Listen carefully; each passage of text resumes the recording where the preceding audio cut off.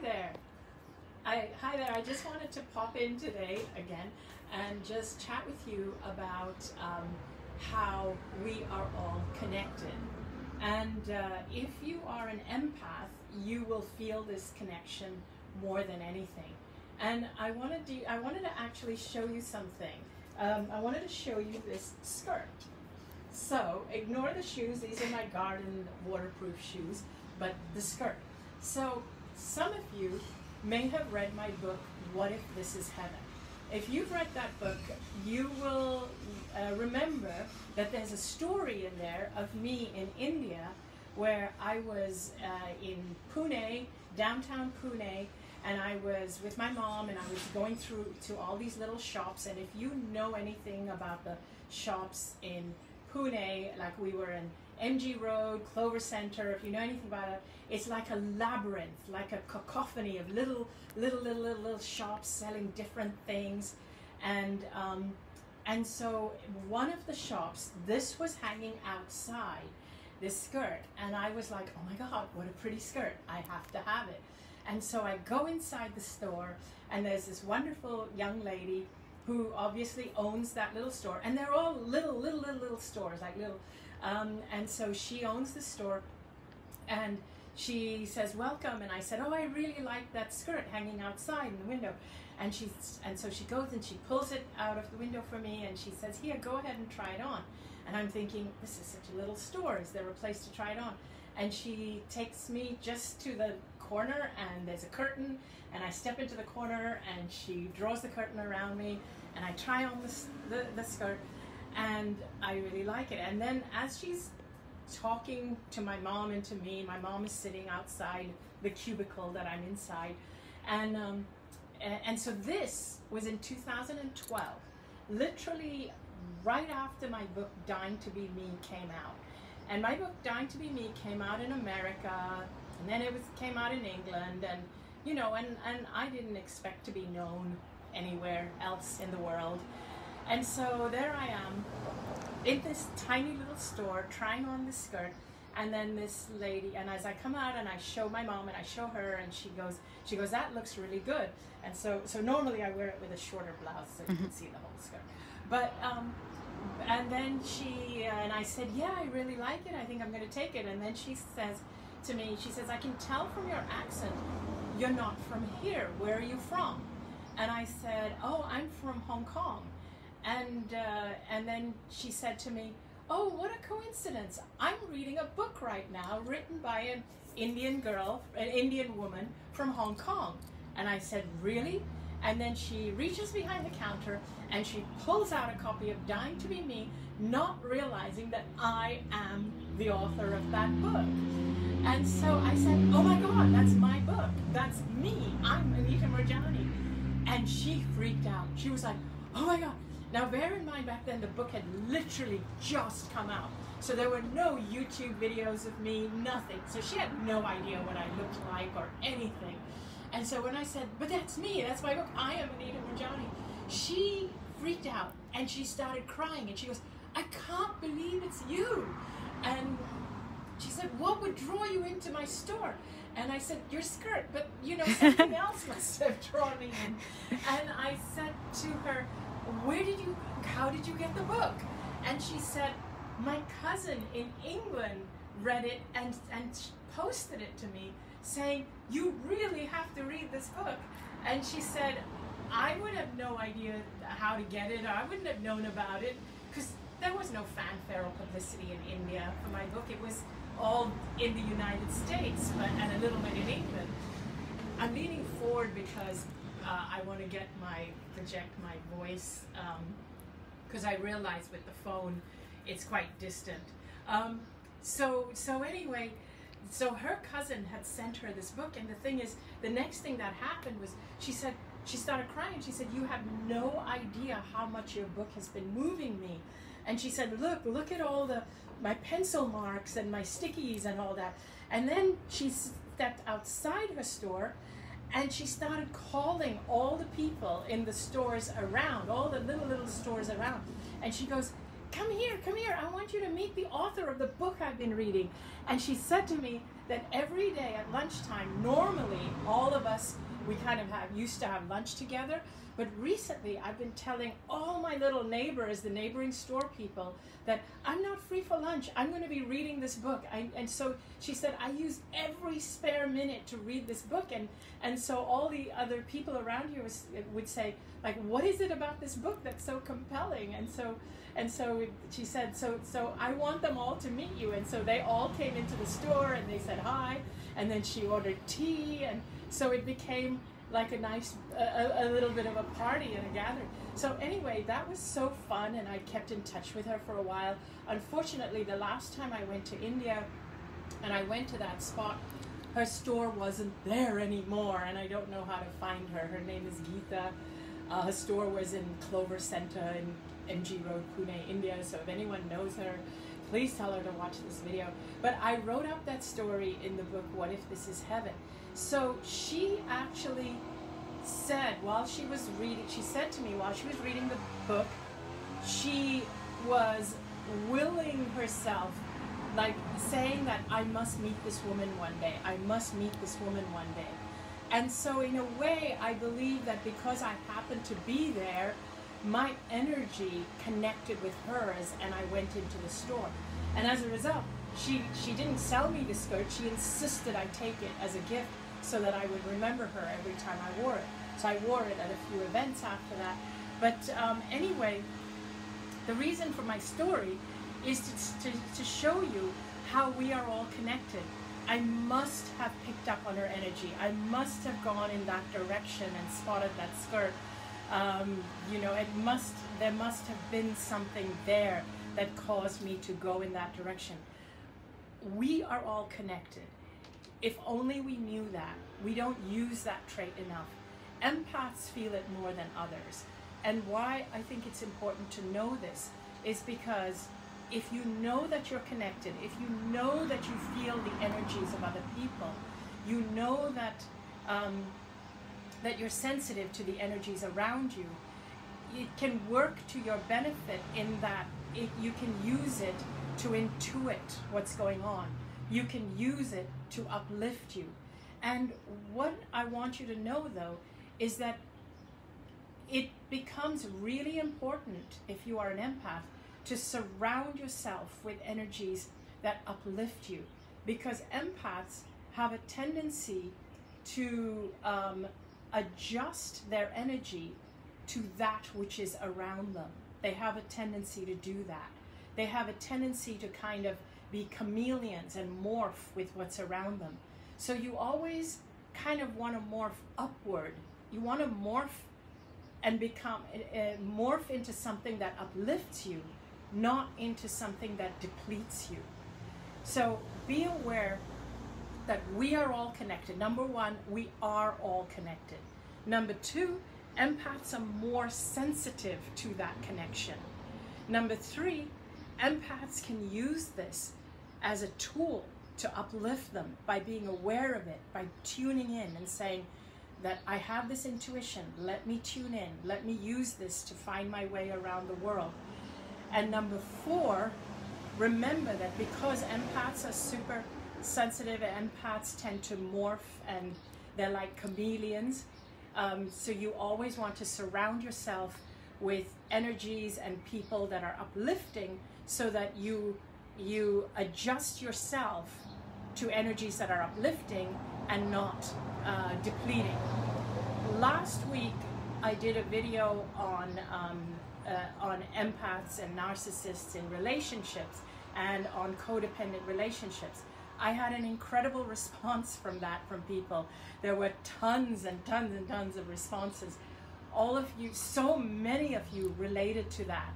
So I want to again reiterate if you are an empath um, and if you are connected, you have to honor what it is you feel. It becomes more important because what happens is that if you get into a relationship with a narcissist, you will have a tendency to morph yourself because you're connected to what the narcissist is feeling. You will honor the narcissist, so you will have a tendency to honor the narcissist's wishes or the other person's wishes more than your own. And so you will then start to morph yourself and chameleonize yourself to fit in with this narcissist, which will completely deplete you. Be aware that you have a tendency to do this. Um, somebody commented, and I already responded to that, is that is it possible for two people in codependent relationships to for it to actually work for two codependent people in a relationship for it to work. Yes it's absolutely possible as long as one of them is not a narcissist and as long as they are both aware that they are codependent on each other and as long as they make a commitment to work towards uplifting themselves and each other. If they make that commitment it could be an amazing relationship. If they are both empaths and they both make the commitment that they are going to work on uplifting themselves and on reminding each other to up and uplift each other, then it could really be an amazing relationship. Um, somebody also asked me whether Danny's and my relationship could possibly be somewhat codependent, since I have mentioned that I came back uh, because my purpose was linked to Danny's uh, purpose. So, yes, absolutely, our relationship could be somewhat codependent, but we're both very aware of it, of our connection to each other. We're both very aware about uplifting each other, and we're both very, very empathic towards each other's needs and feelings. So, I don't feel depleted by him. In fact, I feel energized by his presence. And I believe he feels the same way about me. And so, even if we're codependent, but as long as we're feeling energized by each other's presence, then it works. Um, so, and oh, and by the way, if you have any other questions right now, um, Abby, who's behind the screen right now, will read them out to me. I do have one question if you're ready for them. Sure. So, someone was asking how on the other side, it was very early question, so I'm trying to remember. Um, on the other side, can you go into how you remain an individual versus how you remain connected? And kind of give us an explanation of that? Sure, and I've explained this actually in some of my earlier videos, so I won't go into too much detail. I'd love for you to check out my earlier videos as well as my book, Dying to Be Me. But um, it is kind of like you are still, you are a facet of the whole, of the whole soul. And you are connected to everyone, but yet you have a, a facet of yourself that is uh, individual. So the, um, an example I often use is if you remember if you remember back in the 80s, I don't know if you're old enough to remember that back in the days of dis- the disco era, there used to be something called a mirror ball in the discos. And this mirror ball consists of lots of little tiles of mirrors. Um, so let's pretend that whole mirror ball is source or God. And each little tile is a soul. And so, and, and then each little tile, when you look at the walls around the room, each little tile is refracting a dot, a spot of light, a speck of light on the wall. Imagine if each of those specks of light is us in physical form. One of those specks of light is you, another one is me. And so each of these specks of light believe that they are separate physical beings. And there they are, going around the room as the lights go around, as the ball spins around. These lights are moving and but they're never touching each other. They're all individual separate individual specks of light. That's us separate physical beings thinking that we're completely separate. What we don't realize and we realize when we die is that we are one mirror tile from that mirror ball. So that mirror tile is your soul. That soul is connected to all the other souls. So even if that soul has lived multiple lives all that information of the multiple lives is, is contained on that one mirror tile, but that mirror tile is connected to all the other tiles. So they have, each one has access to all the information of all the other tiles, but all of them is part of the whole, which is Source or God. So each one of us, each one of our souls is a facet of God choosing to express itself right here, right now, as this speck of light in this moment. That's how I would of explain it, where we are separate, but we are also all connected. And then I have a question which is more related to synchronicities, but someone is asking how can we use synchronicities and our connection to find specific people, for example, a soulmate or something? You can do it. So, first of all, the most important thing is to value and honor yourself because like attracts like, and that's just something that works. Like attracts like. Sometimes the law of attraction makes it more complicated depending who's delivering it or who's talking about it about you have to visualize this and that and the other. But it's you don't have to worry about any of that. As long as you enhance your own energy you expand your own energy by feeding and nourishing yourself uh, by taking care of yourself by loving yourself with lots of self-care and when i say self-care it means caring about your whole self, including your soul, your spirit, your all of you. Um, what does self care really mean? Let's get to the nitty gritty. It means saying no to things that are not you. That's something we forget to do. It means stop worrying about displeasing other people. It means stop being addicted to, um, stop being addicted to, what's the word for it? Approval. Stop being an approval seeker. Be your own person. That's what self love means. It means do not seek approval. Do not be afraid to disappoint people. Um, uh, don't be afraid to say no if something doesn't resonate with you. Don't worry that people will be disappointed if you say no. Um, it means uh, realizing that you are a facet of God. These are all these are all signs of self-love. Um, it means allowing yourself, your soul, to express itself for who it is and who it came here to be. It means um, not waiting for other people to give you the green light to do something. It means being able to receive. That's a big one. How could I forget that one? How are your receiving channels? Most, uh, a lot of empaths are really, really good at giving of themselves, rescuing people, but they're terrible at receiving. They're terrible at allowing other people to give to them or the universe to give to them. Open your receiving channels. These are the things you have to do for yourself. And as your energy grows, then you will start to attract at that level. You don't have to be specific. I always prefer when people are not specific, when they, you know, it's not about saying, I want this person, this soulmate to be like this, this, this. No it's um, about you. It's about allowing yourself to vibe at a higher level so that you are attracting at that level. And then allowing the universe to, to uh, gift you, which means your receiving channels have to be open. So that's an important thing. So no matter how much you follow vision boards and do the visualization, if you don't love yourself and your receiving channels are closed and your vibe is low, that stuff is not going to happen. Okay, so work on expansion. Um, and then we have a couple people who are asking about um, how to shake off when they uh, when they feel like they've taken on someone else's energy, or how to lift themselves up when they are an empath. And I just wanted to direct them to your YouTube channel because you've done a bunch of videos lately about empath self care. Yes, yes. So I have a lot of tools in my empath self care videos check out the ones titled Empath Self Care. Um, even sometimes having a shower helps, uh, listening to music, but please check out those. I go into detail. And also in my book, Sensitive is the New Strong, um, I speak a lot about empath self care and how to take care of yourself as an empath. And the story I spoke about earlier about the skirt is from my book, What If This Is Heaven? So so when that happened to me, right after Dying to Be Me came out, I included that story in my subsequent book, What If This Is Heaven?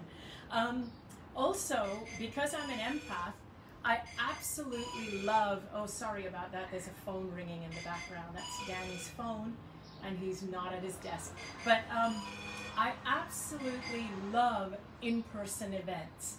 Uh, as an empath, I love in-person events uh, because I get to connect with people. I get to um, I get to feel your energy. And what I do at in-person events is that, and what we all do together, is that we uplift the energy in the room. so that we entrain everybody to be at a more uplifted state. So it makes me so happy that in-person events are opening again. And, um, and so my first one will be a retreat in Sedona, and I'd love, love, love for you to join me. Um, my events, I try to keep them as high vibe and uplifting as possible so that you are at that level where you are attracting good health. And you don't even have to figure it out, but you are at the level where your soul is attracting what it needs for its highest good in this life, whether it's whether it's uh, abundance or relationship or health or whatever it is.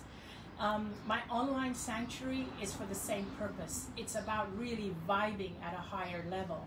It really is, so that you get what you need. It is particularly useful and helpful for empaths because, as I said, empaths adjust themselves to the level of the people around them. You need to feel what it feels like to be at a higher level. Unfortunately, in this world, we're bombarded with lower states, bombarding us from the TV, from mass media, from mainstream news, all of this, and uh, all the ads on TV, the drug ads, so the ads that make you feel insignificant or that you're not complete unless you have a bazillion dollars to buy this amazing car or whatever.